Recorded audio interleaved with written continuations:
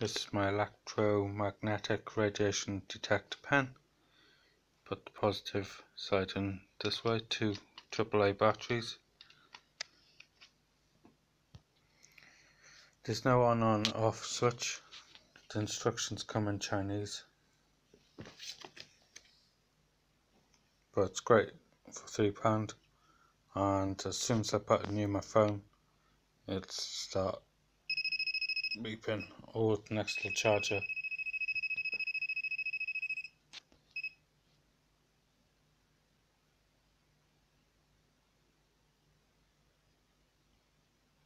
But anyway it's great for three pound.